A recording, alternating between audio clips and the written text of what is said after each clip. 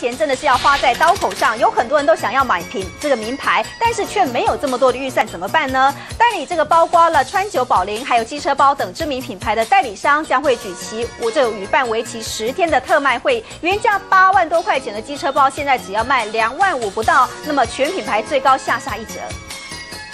工作人员忙着布置整个展场，不是挂着三折就是两折的折扣招牌，集合川久保玲、Camper 等知名品牌的特卖会。像是知名的机车包品牌，原价八万零八百，打了三折，只要两万四千两百四十元；原价六千多块的 Camper 鞋，也只要一千五百块就买得到。另外，王菲、张曼玉等影星爱用的比利时品牌服饰，更只要一折价。川久保玲来说呢，这是我们第一次在台湾有这样子所谓三折的折扣。那基本上之前都是从来没有出现这么低的价格。那像是 Balenciaga 的包包，也同样是基本上一般都是不会有任何折扣，或者是只是一些些许的 VIP 九折这样子的折扣。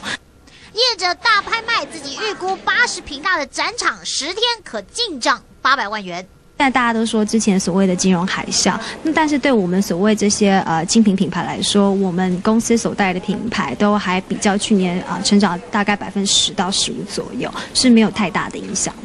不止要留住金字塔顶端的客层，也将价格下压，希望一般客群也买得起。业者短时间手涨丰厚，也让消费者捡到便宜。真新闻吴明山台北采访报道。